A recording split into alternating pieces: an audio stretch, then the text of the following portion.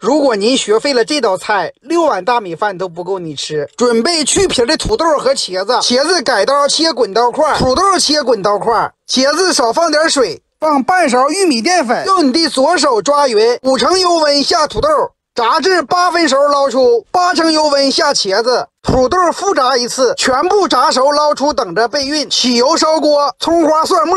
生抽、蚝油，再来一碗忘情水，盐、鸡精、白糖，放入青红椒，水淀粉勾芡，下炸好的茄子、土豆。在屋里没有人的时候，用你的左手翻炒均匀，出锅。